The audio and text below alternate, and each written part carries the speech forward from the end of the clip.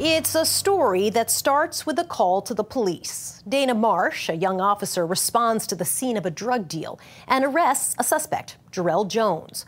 While neither man knew it at the time, it was the beginning of something remarkable. A bond that withstood a murder trial, prison time, and nearly three decades. Our correspondent, Jessica Gomez, has their story of friendship and support.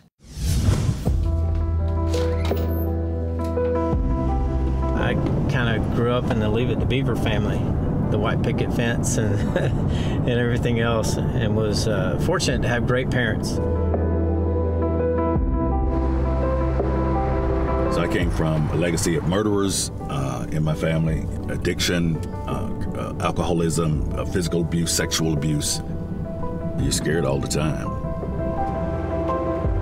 The story of Dana Marsh and Jarrell Jones begins here at an apartment complex just outside of Atlanta, Georgia.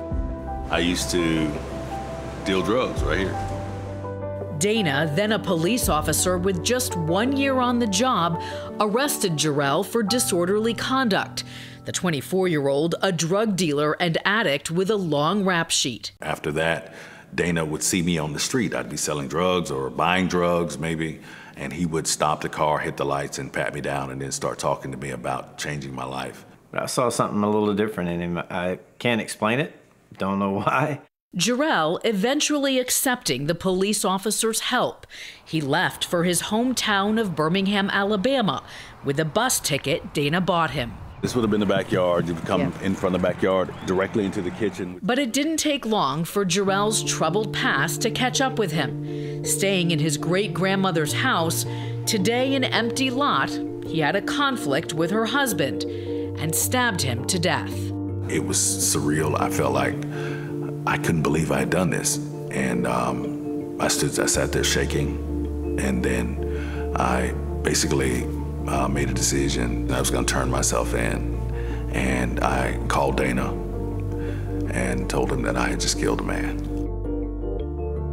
He said, uh, I got to take accountability. Uh, this is the only thing that I can do to change my life. Despite Dana testifying on his behalf, Jarrell was sentenced to life in prison. He was going through a lot of remorse, but he also had realized that the only way that he could make his life worth something is helping those that were coming in that were going to be able to get back out. Moving through prisons in four states, that's what Jarrell did, taking accountability classes, studying psychology, and counseling other inmates. From the outside, Dana, busy with a young family, continued to support him. He visited, you know, sent money, went to my, my, my hearings. Whatever he could do, he did. You know, he treated me like a brother. After 20 years behind bars, Jarrell's impact on others earning him his release. Nobody had ever talked to y'all like that before? Today, that work continues, mentoring local teenagers, teaching things like landscaping and life lessons, ones he learned the hard way. When I say accountability, what comes to your mind? I tell them that they can be a promise of their environment instead of a product. Words are spirit and words are life. Jarrell's promise helping neighborhoods like the one in which he grew up heal. His work as a community leader now attracting the attention of Birmingham's top cops and prosecutors. And always there, his friend Dana Marsh. What would you tell a young police officer who might be encountering the same situation today? You've got to have compassion. Uh, if we don't, things won't change we learned that from each other then.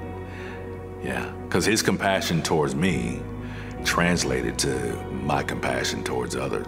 Father, we thank you for the food we're about to receive. I was a violent criminal. Mm-hmm. And to think that, uh, you know, that this is what redemption looks like, you know, sitting at the table with the, the actual police officer that arrested you.